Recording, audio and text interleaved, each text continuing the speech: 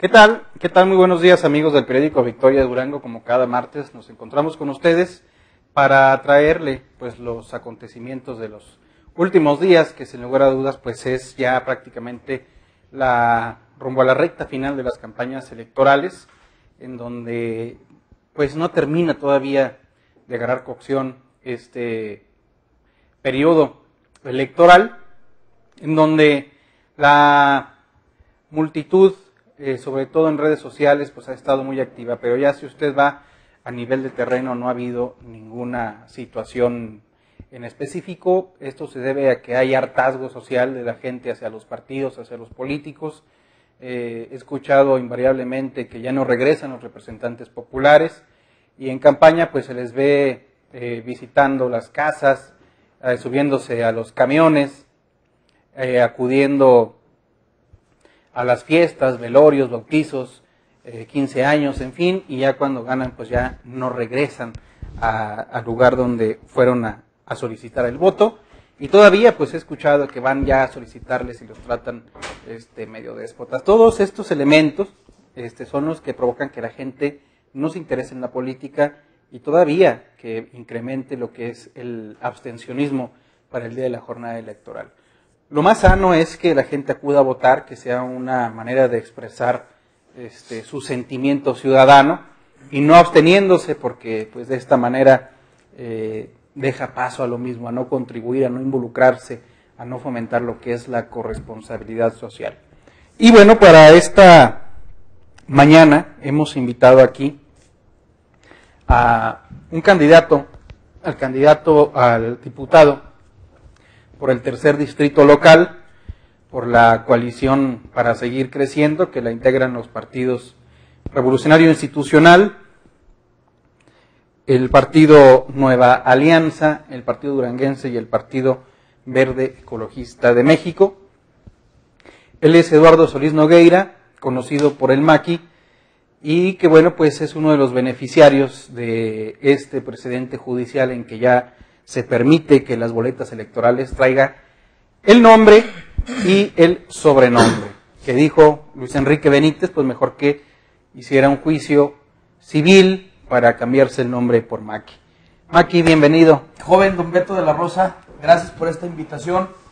Un saludo a todos sus seguidores en, esta, en esta red y agradecerles, agradecerles esta oportunidad que nos dan en, un, programa de análisis, de, crítica objetiva, muy puntual.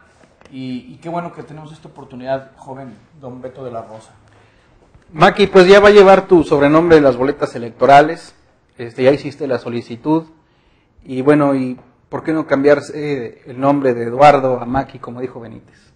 Pues ¿por qué? Digo, o sea, es un tema que si lo revisamos y creo que es bueno que, se pueda eh, documentar bien el tema. Existe jurisprudencia en base a procesos anteriores en otros estados. El año pasado en Guanajuato, en Sinaloa muy mentado, eh, en Michoacán, eh, en varios estados ha habido esta solicitud, esta intención de jurisprudencia y con apodos, a lo mejor hasta eh, dentro de un parámetro mucho más fuera de, una cuestión ordinaria como el Pato Lucas en Baja California. Nada más que cuando sucede en Durango. El Kiko Vega. El Kiko Vega. Y cuando sucede en Durango y, se le da voz en, en algún análisis tan profesional y tan a fondo como los que algunas personas luego hacen, pues entonces está mal, entonces no puede ser, entonces sale de la razón. Es una solicitud que nosotros hicimos a través del partido eh, al, Instituto Estatal que no afecta a terceros, Beto, no afecta a terceros, es parte de la cultura del mexicano, es, es una cuestión dentro de la idiosincrasia del mexicano, el apodo.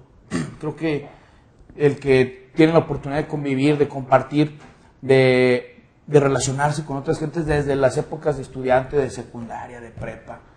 Eh, pues el, apodo es parte de, nuestra, de nuestra cultura. Y si a un servidor que se ha podido identificar con la apodo de Maki se puede llevar en la boleta, pues ¿cuál es el problema? O sea, es, más una cuestión de, identidad, de identificación, más allá de, pues cambies el nombre ante el registro. Digo, se me hace algo, una postura pues, eh, que no lleva o, que no, no, no, tiene un fundamento para la solicitud que nosotros hicimos, que afortunadamente se, se aprobó. Pero eso te lo vuelvo a reiterar, pues hace más un antecedente, no en Durango, en otros estados, como Guadalajara. Oye, Maki, yo recuerdo la elección local intermedia del año 2007, donde tú estuviste a punto de ser candidato suplente diputado local, por el mismo distrito, circunstancialmente, iba el Meño de candidato y el Meño empezó a usar en su precampaña el nombre de Meño, Meño Herrera. Y el entonces jefe político, Ismael Hernández Deras, le dijo que no, que eso, que pusiera Manuel Herrera, porque eso le, le quitaba el apodo o el sobrenombre seriedad a su personaje, a su persona. Eh, ¿Tú no considerarías lo mismo? O ya, no, yo creo que... Al contrario. No, el, el, nombre, el apodo, eh, yo creo que no tiene nada que ver con, con el compromiso que estás haciendo, que has realizado a lo largo de la trayectoria o a lo largo de tu oportunidad de servir. Creo que la gente, más que el apodo, más que el nombre, quiere resultados. Quiere un trabajo cercano a ellos. Quiere que su voz, eh, que sus anhelos, que sus esperanzas, que tú lo comentabas cuando al inicio del programa, cuando abres, haciendo un comentario. La gente, tú crees que si hay un resultado, que si el, el diputado regresa, se suma con ellos, está ahí, eh, es un enlace con los diferentes niveles de gobierno estatal, federal y municipal. Se suma a la gestión para resolver los problemas muy, muy de la mano con el ciudadano. Va a importar si le dicen o no eh, fulano o mengano. Yo creo que el ciudadano busca más que nada que, se le resuelva, que se le atienda, que, se le respalde. Yo estoy haciendo un compromiso en esta campaña, Beto, eh, y tengo bien claro el objetivo, lo he compartido contigo, de ciudadanizar la política, que esa voz que hoy dice que no se le escucha, que no se le toma en cuenta y que no regresamos, pueda romperse con esa, con esa idea, pero a través del trabajo. Eso se hace a través no de un discurso bonito ni de un comentario, sino de la chamba diaria, de estar eh, muy comprometido con esas causas que el ciudadano, pues muchas veces que muchas veces no ve reflejada, muchas veces no ve eh, dentro de su, de su percepción. Queremos hacerlo. Entonces, pues ¿cómo le va? Digo, a lo mejor habrá interpretaciones muy respetables, pero yo creo que eso no tiene nada que ver con que le dé o, le quite seriedad a, una representación cuando la gente lo que quiere es un resultado y un trabajo que ellos puedan sentir, que sus anhelos se vean reflejados en el Congreso. Yo en ese sentido hicimos la presentación de la propuesta legislativa de los candidatos a diputados de los seis distritos, aunado a otros tres de mi, de mi, de mi partido o de nuestra alianza, y, cada uno tomó un tema o, o expresó sus temas conforme lo que queremos trabajar. Así es. Oye, Maki, antes de que toquemos el tema de la agenda legislativa, de lo que platicábamos al principio del programa, donde pues se expresaba que la gente ya está inconforme, molesta, abúlica de la, constante tomada de pelo que hacen los representantes populares, de que nada más van a pedir voto pero ya no vuelven. A lo largo de este tiempo de campaña política, este, ¿cómo has sentido tú a la población del distrito? el tercer distrito que es bastante pues diferente, este, con clase alta, media alta, rural, en nombre de Dios, otro municipio. Este, ¿Qué nos puedes decir al respecto? Hay que comentar que, hay, de, hay de todo. O sea, con, así con honestidad, me he encontrado que ha, sido, que ha habido un gran trabajo por parte de Miguel Ángel Olvera como diputado en la oportunidad que tuvo de representar al tercer distrito ha habido un gran trabajo en el distrito a través del ayuntamiento que preside Dan Soria y que ha habido un gran trabajo a través del gobierno de Jorge Racaldera. Hay obras este, importantes, Beto. Hay obras como la rehabilitación o la creación de unidades deportivas en colonias con una problemática social fuerte como Jardines de Cancún, como el propio fraccionamiento Benito Juárez, como el Alacrán, unidades deportivas con su cancha de pasto sintético, con sus canchas de básquetbol, de voleibol, que pasa uno. A mí me da gusto porque conozco el distrito de hace tiempo, hemos trabajado y, tú, y, lo hemos compartido con nuestros ciudadanos, hemos trabajado en el distrito muy de cerca con la gente, no es nada más de campaña ni de pre-campaña. Y conozco a fondo la situación del distrito, pero hay que decirlo, ha habido acciones, ha habido obras importantes. Esa gran pavimentación del antiguo camino a la Loma, que fue a modificar toda esa zona de las colonias, Luz del Carmen, de las colonias, eh, lo que viene siendo Bicentenario, lo que, lo que son los fraccionamientos nuevos, Victoria de Durango, Nuevo Milenio. O sea, hay desarrollo. Lógicamente que va, falta más, hay que entrarle. Pero ha habido respuesta. Una clínica en la colonia Luz del Carmen, cuando tenían que trasladarse hasta un centro de salud, eh, hasta eh, la zona norte de la ciudad, cuando la economía de la gente muchas veces pues no, les permite eso para llevar a sus niños al médico. Ahí tienen una clínica recién inaugurada, habrá, habrá de ser unos cuatro o cinco meses. Y, bueno, también hay que decirlo, hay que destacar las acciones que se han realizado, es bueno.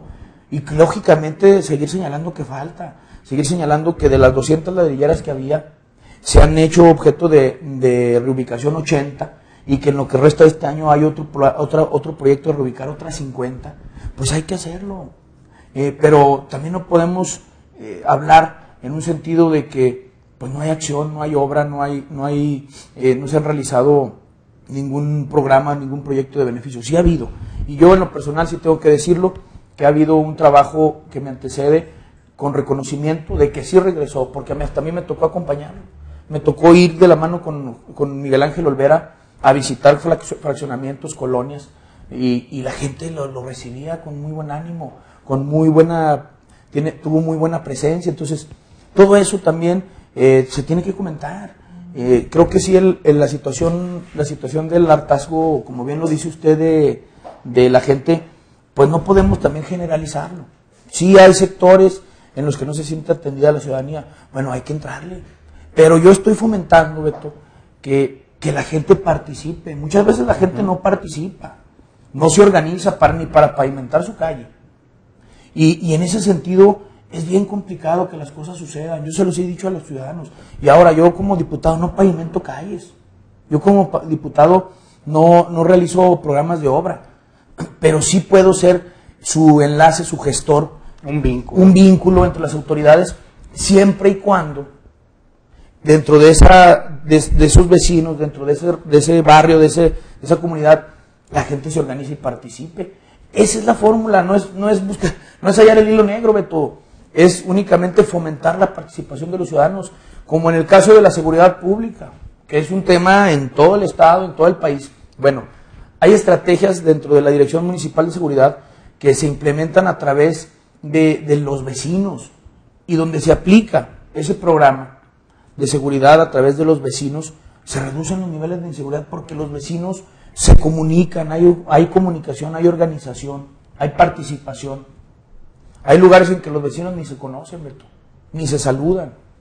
¿Cómo, cómo podríamos eh, acceder a tener un esquema de participación para la cuestión de seguridad, que es una responsabilidad de la autoridad, sí, pero cuando se realiza cuando se llevan a cabo acciones muy coordinados con la ciudadanía, los resultados son mucho mejores y, la, y, con mayor rapidez. Entonces, creo que sí obedece a fomentar la participación, lo quiero hacer, a regresar con el ciudadano, municipio, municipio en nombre de Dios, que vengo de allá. Ayer estuvimos eh, por ahí participando en un festejo del Día del Padre con una cabalgata impresionante que nunca se había tenido por allá de esa forma.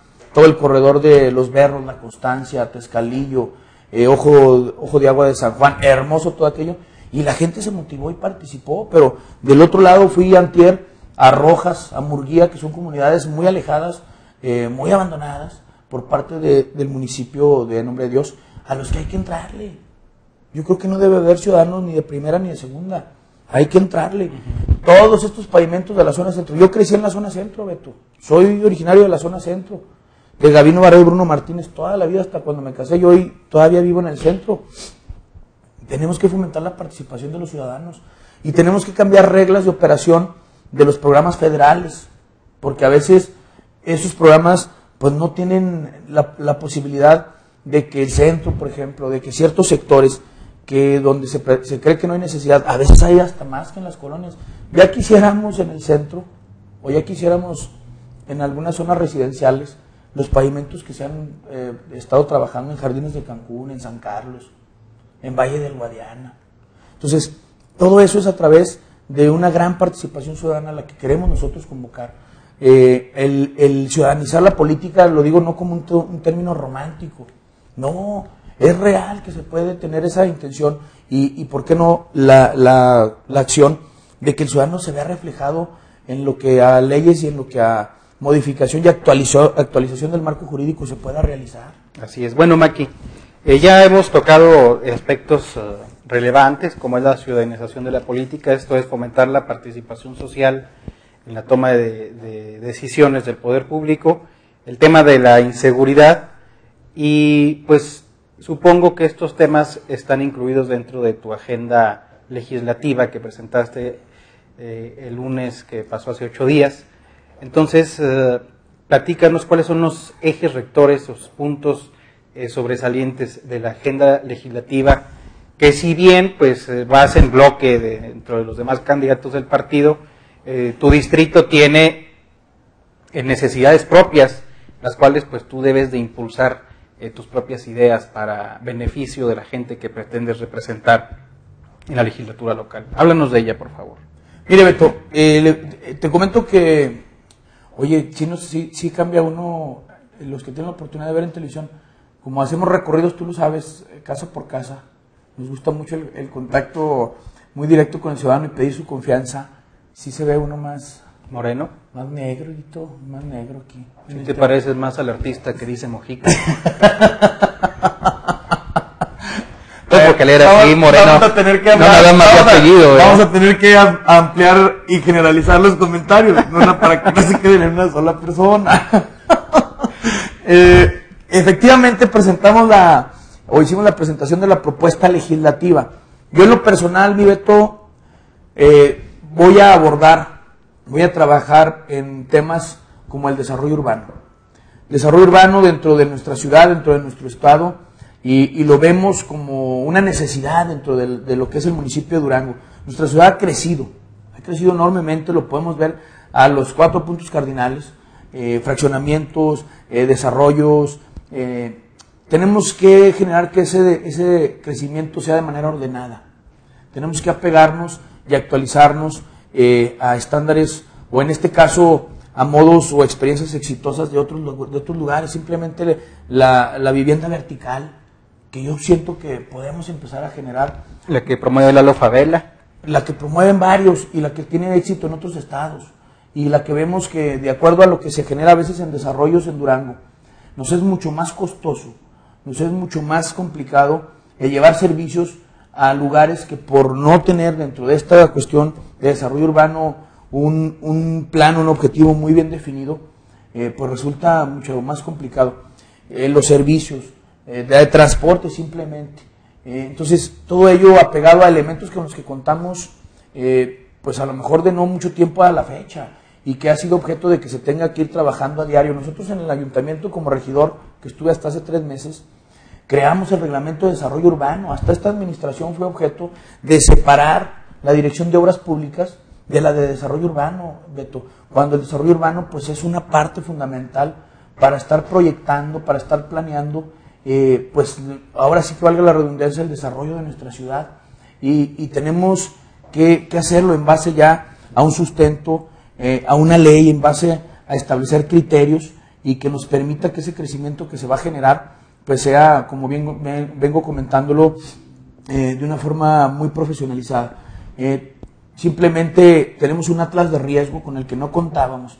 El atlas de riesgo te- te representa todo lo que tiene que ver con, la- con nuestro estado, eh, zonas inundables, que antes no se tomó, o no se hizo caso de este elemento y hoy vemos asentamientos que nada más con una llovidita eh, son objeto de inundaciones, pues porque no se hacen en base a elementos que nos permitan que el desarrollo, como lo vengo diciendo, se dé de manera ordenada.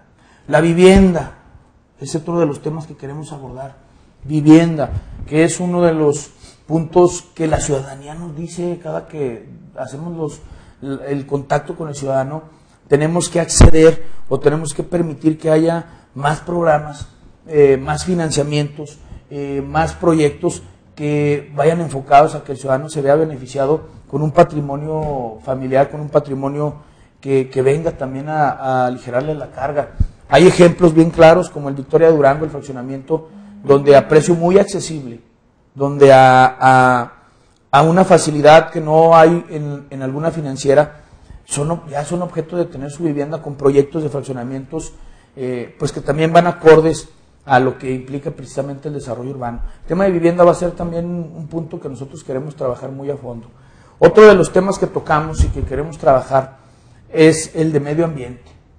Usted lo comentó hace un momento en mi distrito, pero creo que hay que generalizarlo. La ley es de observancia general, pero sí tengo que comentar que simplemente en el distrito al día de hoy todavía tenemos en la mancha urbana ladrilleras, caso particular de la colonia Jardines de Cancún, de Valle del Guadiana, de San Carlos.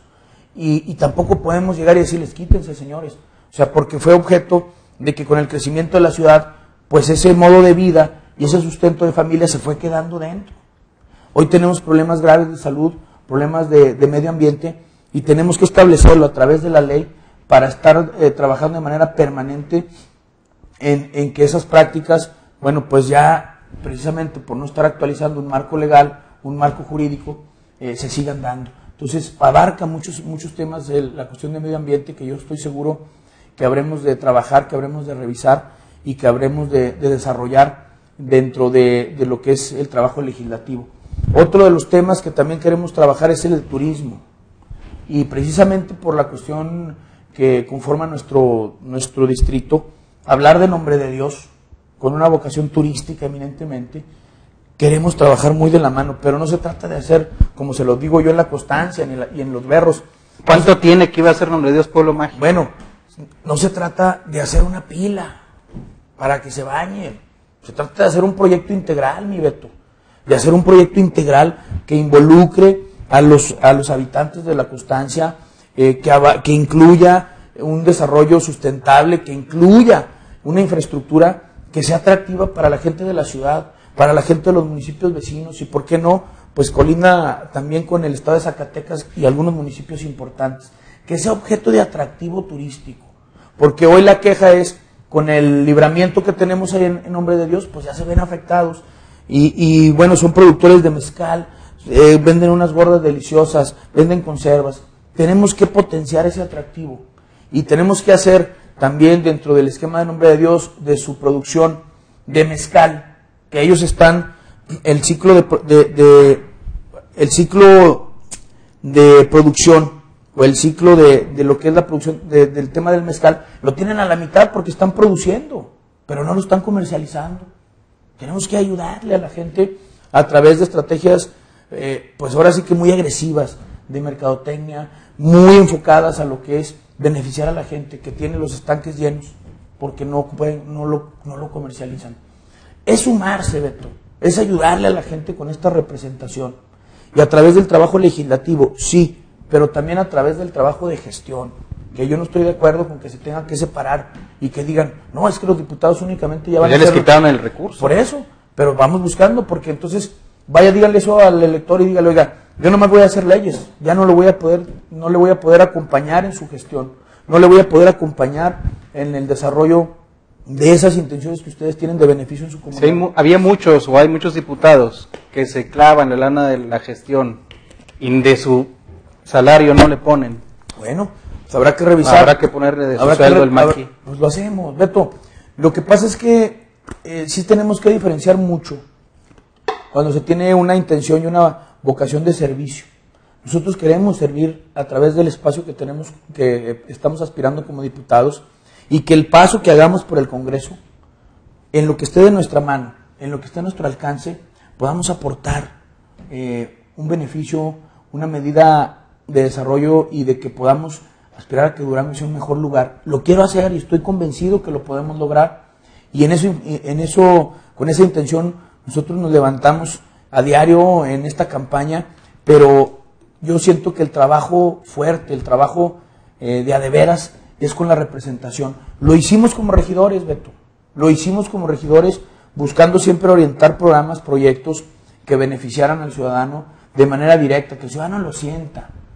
Eh, creo que sí es bueno que podamos establecer marcos legales eh, en muchos temas, pero yo creo que debemos traducir esa intención del ciudadano y que el ciudadano sienta que esa ley que se está modificando, que se está creando o actualizando, le sirva y que sepa en qué sentido porque eso lo obtienes únicamente andando ahí en territorio, ahí a ras de tierra, que es lo que yo he hecho siempre.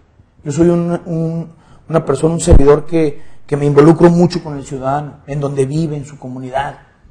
Yo el escritorio sí lo utilizo para planear, para proyectar y para evaluar, pero creo que hay mucho que hacer de, dentro del territorio del tercer distrito y dentro del Estado para que el ciudadano pueda sentirse representado. A eso aspiro, a que el ciudadano diga, aquí está el diputado y se está sumando y sí regresó y sí se está involucrando en la problemática que nosotros le planteamos. Hay veces que es cuestión, Beto, con temas del ciudadano, a veces nomás de tocar una puerta o hacer una llamada. Pero eso lo vas a tener y lo vas a saber en el tema de los problemas que se presentan cuando regresas, cuando estás ahí. De prestarle un hombro para que llore. De prestar un no, para que, para que llore, no, para, para resolverle, pues para que lloran. Te manda saludos Alfredo Valles Mendoza, el profesor. Ah, mi profe Alfredo, hombre, un Este- saludote a mi profe Alfredo. ¿Dónde anda mi profe Alfredo? Pues anda en México, dice. Salu- a un saludote a mi profe, la verdad es un- una persona con la que tuvimos la oportunidad de convivir, de trabajar algunos, algunos programas, algunos proyectos y es una Líder magisterial. líder magisterial, fíjese. Sí, un saludote a mi profe Valles, que un aprecio especial para él. Y luego vas en alianza con los profes. Y luego en alianza con los profes, que también mandamos un saludo al profe Herrera, que se ha venido sumando, que tiene una representación dentro del Partido Nueva Alianza, que pues yo siento que nos va a dar un buen resultado. Los profesores, también he tenido la oportunidad de platicar con ellos, tienen eh, pues esa, e- ese proyecto tan, tan, ahora sí que uno de los más difíciles como es educar, como es eh, esa vocación de servicio. Tengo, no es desconocido para mí porque tengo cuatro tíos maestros, tres tías maestras y un tío que ya hasta se jubiló. Conozco esa vocación. El profe Toro Solís. El profe Toro Solís, mi, mi tío, ¿sí lo conoce? Sí, cómo no, famoso. De madero, ¿no? Es de Madero, mi tío el profe, ¿sí lo conoce? Sí. Horacio Palencia también manda saludos. Lacho, Palencia. Ernesto Escobosa. Hombre, puros amigos, puros cuates. Y Milton dice que si no vaya a ser puro bluff. Oiga, pero Milton ya no Me mandó redes, mensaje ¿no? por inbox. Ah, porque sí, creo que se retiró de... Me mandó por inbox. Se retiró de, de las redes sociales. ¿quién Del sabe? Twitter nomás. Del Twitter, ¿verdad? Del Face todavía. lo El buen Milton. No, Milton nos conocemos desde hace muchos años, sabe que no es una cuestión de bluff, eh, sabe que en esto hay que meterle corazón, hay que meterle compromiso y trabajo. Yo estoy ah, ah, seguro y consciente de que si lo hacemos en ese sentido, esa percepción que tiene usted, que tiene nuestro ciudadano, de que nada más cuando andamos en campaña, ahí andamos sí pidiendo el voto, pero no regresamos. Cargando niños, bailando con viejitas. Pues es que eso, el que lo hace de manera natural se ve y se siente. Eso revísenlo, yo creo que es bueno. Nuestra comadre Alanis que traía una, un frasco de gasas de alcohol y se le tapaba las No manos. sé, no, ya no, usted sabe mucho. Y usted sabe demasiado. Bueno, entre otros usted, políticos. usted, usted en la cosa nuestra ya no hubiera, no hubiera eh, sobrevivido porque sabe demasiado. No, yo la verdad, este, no, no, yo he tenido, eso es una cuestión que se siente, Beto. Eso no, no puede uno estarlo simulando. Cuando lo, cuando es natural, la gente lo sabe. Y eso va a ser muestra, qué bueno que lo comenta, de un resultado del 7 de julio. El ciudadano sabe, al ciudadano no lo engaña a uno. El ciudadano en el contacto sabe cuando es sincero y cuando no también. Y eso va a ser un resultado que vamos a reflejar. Fíjese bien, estamos a, ¿qué? a 18 días. El, el resultado se va a dar en, en función de, de ese, ese, ese enlace que se puede tener con el ciudadano el día del proceso electoral. Es algo bien interesante. Eh, los redentores, los salvadores, Los mesías. los mesías ese día van a, van a, van a, van a tener también un resultado. Los que se aparecen únicamente en cada proceso electoral. Los que trabajamos, eh, no nada más en proceso electoral, pues tenemos esa confianza que nos da el impulso, que nos da la energía, la buena vibra que la gente te transmite cuando andas eh, solicitándole su apoyo y su confianza. Y eso se va a ver reflejado, Beto.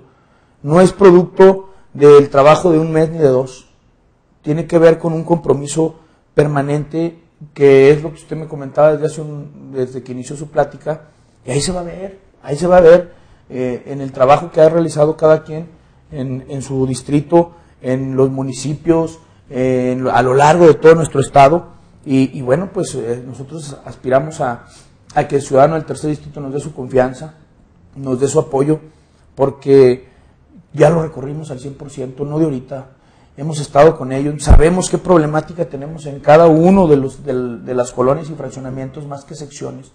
Yo el distrito lo divido más que secciones en colonias y fraccionamientos, en zona rural, en nombre de Dios, y que vayamos a, sacando eh, ahora sí que nuestras anotaciones de cuáles son las prioridades en cada uno de los lugares y que estemos de manera permanente eh, reuniéndonos, pero también evaluando. Yo estoy haciendo compromiso de que con las visitas que he hecho en el distrito en campaña, me permitan regresar así en ese mismo esquema, mínimo cada cinco o seis meses, para estar evaluando a lo que nos comprometimos. Y si hay que tocar puertas, las vamos a tocar. Someterse al escrutinio social.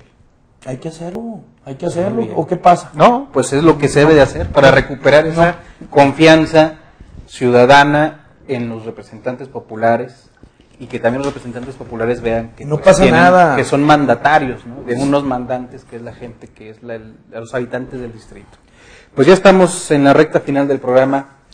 Eh, Maki Solís antes de despedirnos. No ponga, dígame Eduardo Solís no Gaira Maki porque luego se molesta se molesta quién no se molestan. No. dijo usted An se molestan. Pues no sé luego dicen que no me digan que ya se molestan ya no quieren que me digan Maki. Pues dijo Benítez. Pues imagínese. Que te cambies el nombre.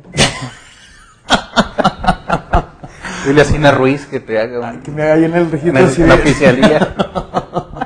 Muy bien. No, pues un gusto, un placer estar con un joven, eh, pues analista de a de veras, un joven muy, muy crítico, pero con mucha objetividad que se documenta. Yo es, todos sus, sus análisis siento que los hace en base a elementos que le permitan hacer un juicio.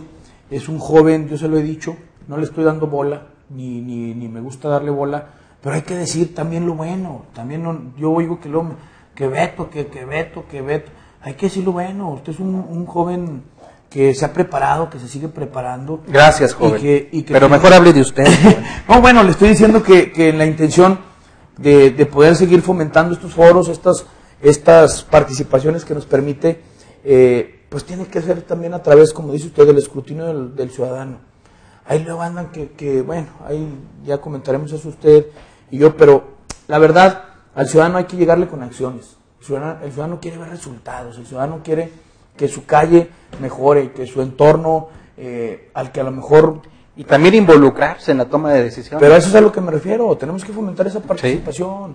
Y, y bueno, va a ser un trabajo permanente, va a ser un trabajo muy interesante pero que, queremos entrarle, que queremos meternos bien a fondo y que esa percepción por las nuevas generaciones de políticos puedan, eh, podamos trabajar en función de hacer ese cambio en, el ciudadano, que a mí sí me, me, da tristeza que el ciudadano en general tiene esa idea, que dice, no, hombre, cuates, usted nada más cuando, o sea, hay que cambiarlo, porque sí se puede, y se puede hacer con esfuerzo, con trabajo, eh, con presencia, involucrando, e involucrando a la gente que participe.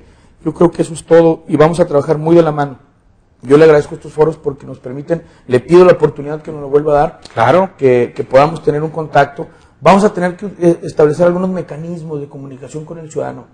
Ya, ya que, que pasa el proceso con el favor de Dios y el apoyo de los ciudadanos, representando al tercer distrito, tenemos que implementar mecanismos para tener un contacto con el ciudadano, que no sienta que no estamos, que no sienta que ya no fuimos. Tampoco se trata, no, no se va a poder regresar ni estar en cada colonia diario, ni cada, cada semana, ni cada mes, porque sería mentirles. Yo por eso estoy hasta estableciendo plazos, de decir, si cada seis meses nos reunimos.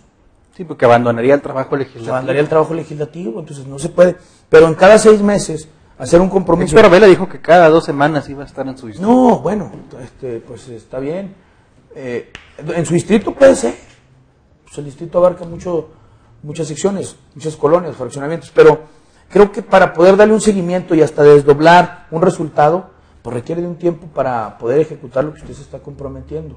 Y en ese sentido lo vamos a hacer. Yo, yo la verdad estoy eh, pues bien comprometido con realizar un trabajo que el ciudadano pueda sentirlo. Pues muchas gracias, Eduardo Solís Nogueira, mejor conocido como el Maqui. ¿Por qué el Maqui? ¿Por Maquiavelo? Oh, usted quiere, ya tiene tiempo, eso ya es ya tiene, ya tiene sus años desde que estuvimos en secundaria. Y ahí ya ha venido el apodo, se pierde y luego regresa y ahí está ahora. Ahora la gente nos conoce por el apodo, la gente nos, nos identifica. Ese Maki nos saludan. Ahora que ese puta no diga, soy el diputado Eduardo Solís. Porque suele pasar. no me, ya no me diga Maki. El diputado don Eduardo Solís. Eh, ya no quiero que... No, olvídese, pues eso ya va a ser muy complicado. No, es parte de la cultura de nosotros como mexicanos. ¿A usted no le decían apodos cuando estaba chavalo? Pues el Beto nomás. Pues el Beto, ese es mi Beto. eh. Ya no me digan Beto. O sea, lo, haría. Eh, Beto de la Rosa se le identifica. Entonces es parte de... Les digo que me dan Don Beto de la Rosa. No, ya, usted ya quiere que le... No, si ya lo, no, no, si ya lo estoy tanteando. O sea, ya vi que, que ya, ya, señores que nos están viendo, escuchando, ya no, le, no quiere que le digan Beto, ya quiere que le digan Don Beto. Por aquello de Don todo eh. Bueno, no, muy bien. Vámonos pues. Gusto el saludarlos. programa se repite a las 8 de la noche y lo suben al YouTube, como dice Maki, al YouTube. Y para que lo comparta con la gente, este, suscríbase al canal también de Periódico Victoria en YouTube y comparta la entrevista que se subirá una vez que se transmita la repetición del mismo. Y aquí nos encontramos el próximo martes. Hasta la próxima. Gracias. Esta fue una producción de Victoria Editores SADCB. Para mayor información, visita nuestro sitio web www.periodicovictoria.com.mx o consulta nuestra edición impresa.